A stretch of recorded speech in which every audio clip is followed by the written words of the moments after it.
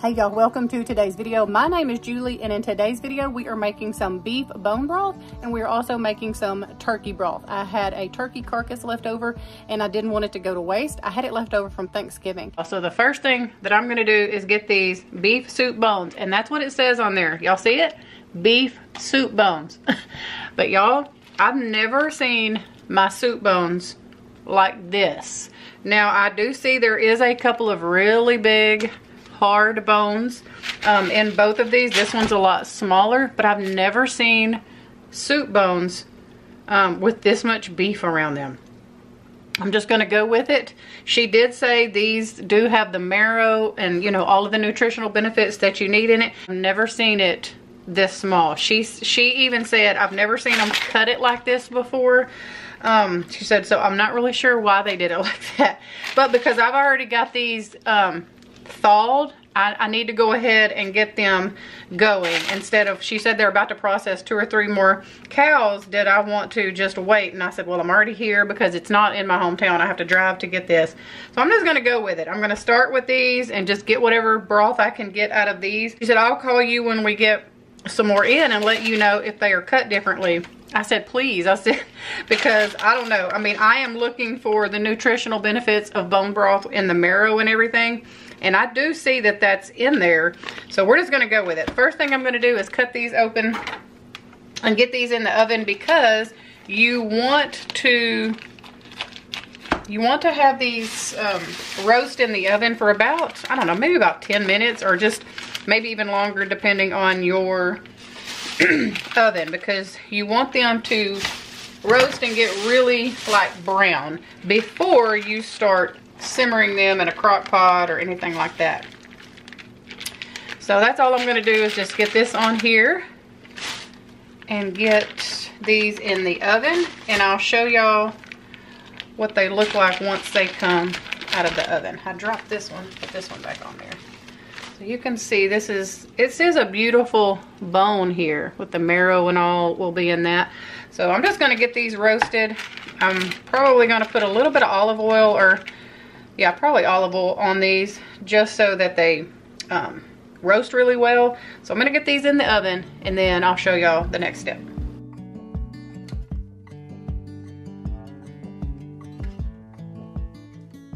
So I have the beef in the oven and I'm gonna time it. I'm gonna put about five minutes on it so that I can flip it in five minutes and just kind of check the color, make sure it's caramelized. But I wanted to show y'all, this is why I save my vegetable scraps. So I don't know if you can tell, I just pulled these out of the freezer, but this is some celery bits, some onion bits, um, onion peels. I'm gonna use these in this broth today. You don't have to do this, but I find that the flavor is really good if you do.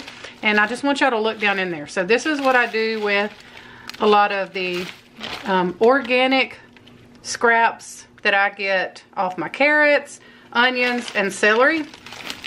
I just put it in this bag. Now I won't use this whole bag today. I might use like half of it. But I do the same thing. I'll come and grab out of this bag for if I'm doing chicken stock or bone broth out of chicken bones. Anyway, so it's a really good idea to just get you a freezer bag and start it in, in your freezer. So anytime you have a handful of scraps, you can just go add to it. Um, I actually think I have some organic broccoli in there, an organic broccoli stem that I threw in there. So there's like the bottom piece of a big chunk of celery. So anyway, I'm just gonna dump some of this in there when I pull the bones out and add them to the crock pot. I'll add these as well as some organic garlic. And I just throw this all in there whole because you're gonna be straining it in the end anyway. So I'm just gonna go ahead and pull that out because um, it shouldn't take these bones but about 15, maybe 20 minutes to just roast in the oven because you're not really trying to cook them or do the bone broth in the oven. You're really just trying to get the meat nice and caramelized before you start the whole simmer process in the crock pot or on your stove, however you're gonna do it. Okay, so these are straight out of the oven and it was about 15 minutes. It was about seven or eight minutes on one side. And then once I flipped them this way, it did not take near as long. But look at that beautiful, can y'all see that beautiful color? So now these are about to go in the slow cooker. Just trying to pull one up closer where y'all could see it a little better. So now I'm just gonna take these and place them in my crock pot.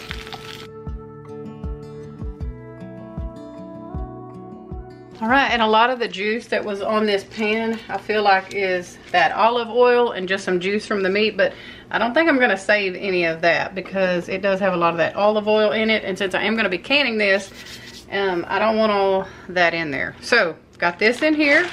Now all I'm gonna do is add some of those vegetables that I talked about. I'm just gonna dump some of this in there. I don't want two broccoli things in there. Not a whole lot, just a little bit, just trying to flavor it. And I will be straining all of this, so it's not a big deal that it, there's peels and all that. And I'm gonna put all that garlic in there. I didn't even chop it up. I just peeled the outer layer.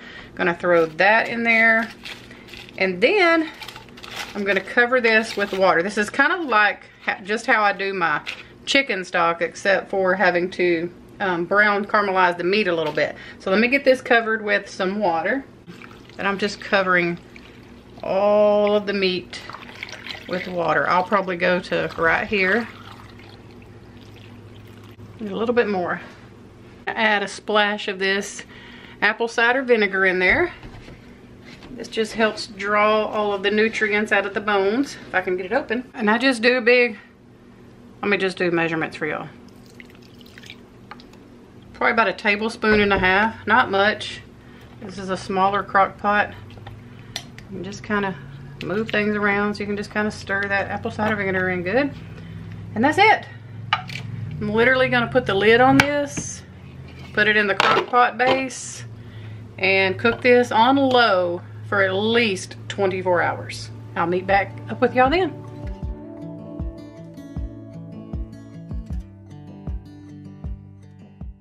Okay, I also wanted to share that in another crock pot, I have a turkey carcass left over from Thanksgiving, and I'm using that to make some turkey stock or some turkey broth, I should say. So while I've got everything out and I'm in the process of canning the beef stock, I thought, why not go ahead and do another crock pot with the turkey carcass and make some turkey stock. All right, so it's pretty late now when we got home. I went to babysit grandkids and it took me longer than anticipated, but so this turkey stock has been going for probably 28, almost 30 hours. You really don't, you really don't want to let it go any longer than that. So even though it's almost 11 o'clock at night, I'm going to strain this and let it cool completely down so that I can get the broth in the refrigerator and work on canning everything tomorrow. So I'm going to strain this and I'll meet back up with y'all tomorrow.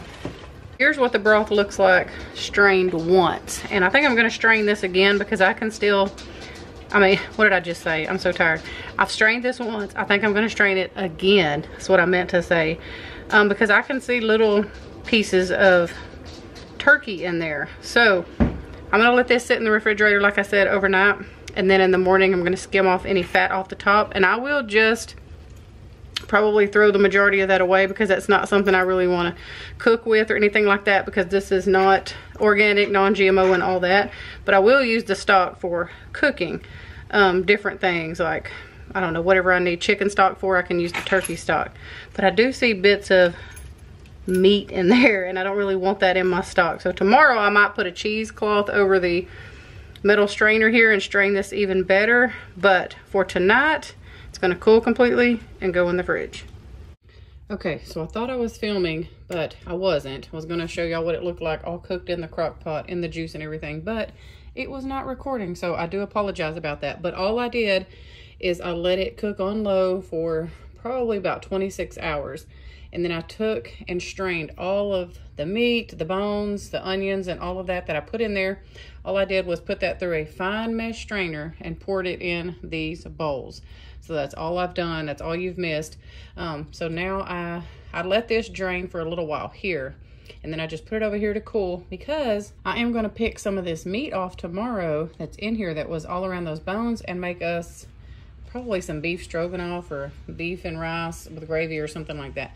But I wanted to show you how beautiful this beef stock is. As you can see, it's kind of getting a little bit of the um, fat on top. I, I don't want to skim it right now because I don't want to get any of the juice off. So like if I tried to skim this right now, I could, but I think I'm gonna wait. So you can kind of try to get it like that, but I don't wanna, and look, look at, it kind of looks like jelly does when you make it. That's what you want. That's when you know that the that it's good, um, when you've truly got some bone broth. So what I'm gonna do is let this cool off to room temperature. I'm gonna put this in the refrigerator overnight and that will allow the, the film of fat to be on the top and I'll be able to scrape it off a little easier. And because this is grass-fed organic beef, I will save the fat that, that I take off of the top. I'll skim it off and put it in a jar and you can use that to cook with. I wouldn't do that with just regular beef. I would make sure it was like grass-fed, organic-fed beef that you're doing that with. But anyway, I'm gonna put this in the refrigerator overnight and then I'll meet back up with y'all tomorrow to show you how I'm gonna skim that tallow or that beef fat off or you know it'll be tallow at that point and then um, I'll save that put it in a jar and then we're gonna can this up and preserve it by pressure canning it so that I can have some shelf stable beef broth at my fingertips when I want it. Okay, so I just pulled the beef out of the refrigerator. I let it sit in there. Actually, it's been in there a couple days. Um, got busy, but it needs to get canned up. And I wanted to show you how the fat separates and just kind of floats to the top. So this is really good um, tallow right here because this is from organic grass-fed beef. So what I'm gonna do is I'm gonna get a little strainer and I'm going to make sure I strain all the broth off of this. I don't want a lot of fat in my um, stock because it can cause your lids not to seal if you're canning. Now if I was just putting this in the freezer, I might leave a little bit more of this in there, but because I'm wanting to can it, I don't want that grease to try to kind of siphon up and keep my seals from sealing really good. So let me get something to put this, strain this tallow, and then I'm going to, I'm gonna get my electric canner going. There's a line in my electric canner. It's, I think it's about three quarts of water for pressure canning. So I'm gonna go ahead and get my water in here so this can be warming up and I need just a little bit more. This has to go through a cycle of like warming up and stuff. And you can put your jars in here and um, warm them up too instead of, I'm, I'm so used to just doing it in a sink. I still haven't got used to being able to do it in here. But because this broth, oh, let me put y'all back down. But because this broth is cold and I don't want to go, I don't want to heat it back up and have to mess up another pot or and all that. I'm just going to leave this water in here cold.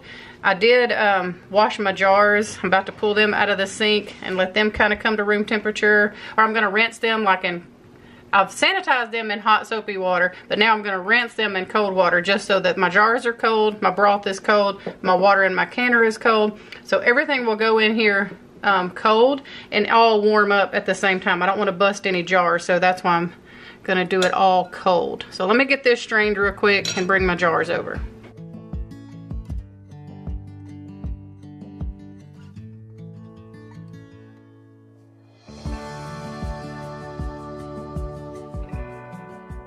All right, and I am gonna add a splash of white vinegar just so my jars will come out clean. That's a something you can do in your canner. Add a little splash of vinegar um, to keep your jars clean. So now, with my clean jars over here, I'm gonna dump out any extra water from rinsing them. And then get these filled up and ready for the canner. I'm just gonna use this little thing here to help me out. All right, so I'm gonna get my stock in my jars, leaving one inch of headspace. I don't know if I'll need this many jars, but I went with pints just because sometimes, and this is very like concentrated, it's a very rich broth, so I could add water to this and still have a very good um, stock if I'm, you know, making a soup or a roast or anything like that. So trying to get it to that one inch headspace mark there. And I'm just keep doing that. I'm gonna keep filling up all my jars and get these in the canner. All right, now I was, here is the turkey stock um, that I made, turkey broth. And the process is pretty much the same as far as canning it, but I wanted to show you what it looked like. Where's my spoon? So it's the same thing. The fat has kind of came to the top. But I was going to try to can all this together. But I got five pints of beef broth. And I know I'm going to have more than that of the turkey broth. So I'm just... I'm just going to wait and process the beef together, the turkey, excuse me, together. They have the same processing time, so it wouldn't really matter if I did them together. But I'm just going to do it separate. I'm afraid I'll only be able to fit one or two more pints in there. And maybe I should because what if I have too many of the turkey and then I have to run a third batch? I don't know. Let me think about that. But anyway, here's what we're to do now. I'm to take some of that vinegar, put it on a clean paper towel. And you're to wipe these rims very good. I don't know if y'all can tell, but there's stuff splattered on here and there's a lot of grease involved in this with the fat and all dripping. So make sure the rims of your jars are cleaned really good before you place your lids on there. Move your paper towel around a little bit, get you a little more vinegar if you need to. The vinegar will cut the grease is why you use the vinegar. So I'm going to get these really clean.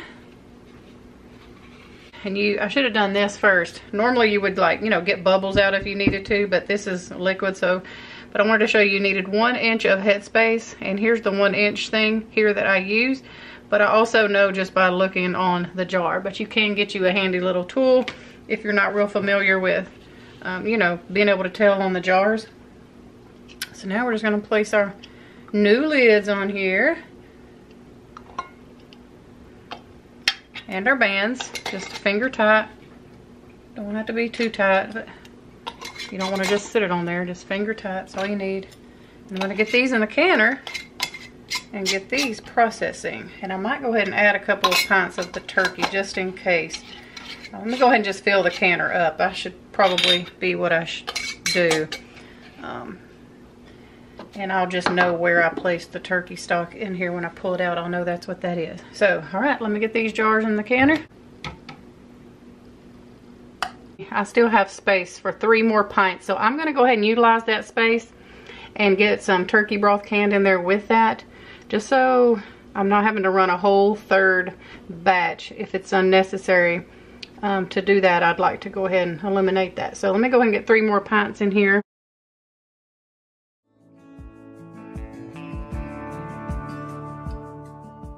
All right just in case you're curious where I'm getting my information from on the times and different things like that I use this book right here. So this is an awesome book for someone wanting to learn how to can it has so much information in it. It's wonderful. So here's how everybody looks. In here I have all the beef back here and right there and then these three are the turkey. So I'll know which is which when I take the lid off so I can label them after they come out.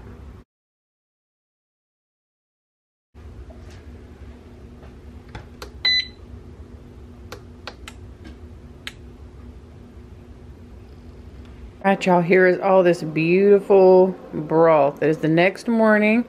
Everything has sealed. I just need to wipe the jars and take these off. But I wanted to show you. I can tell it's sealed by this, and I always test it by picking it up by the ring, and I don't store mine with the rings off. I mean, with the lid. You can test it with the lid's what I meant. It's still early. But this is the beautiful beef broth. Let me get it to focus. Beautiful. Um, and then this is the turkey stock. So I'm super excited. I got two, four, six, eight, ten all together.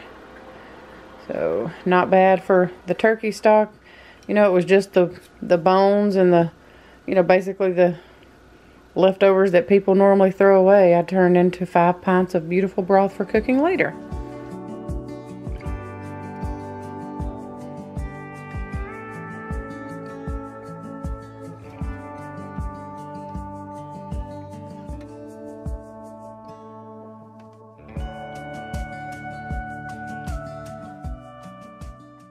All right, I hope that y'all enjoyed hanging out in the kitchen with me today, making some beef bone broth and some turkey stock. We hope that y'all have a wonderful week. We love y'all, and I'll see you really soon with a brand new video.